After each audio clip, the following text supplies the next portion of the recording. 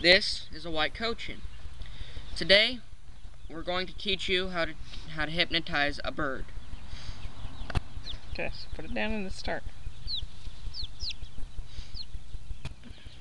You have to get the bird to where she thinks that it's going to be perfectly safe. And of course it will. You have to go down and just keep in that motion. Just let him watch.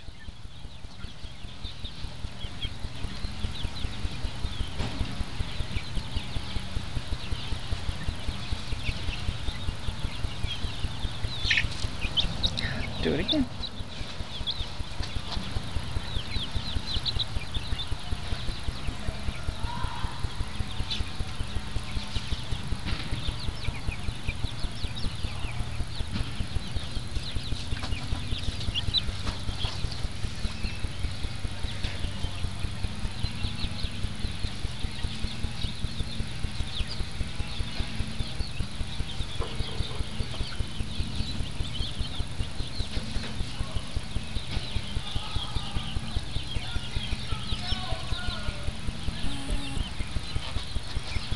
Now get Joe and pick her up. There you go.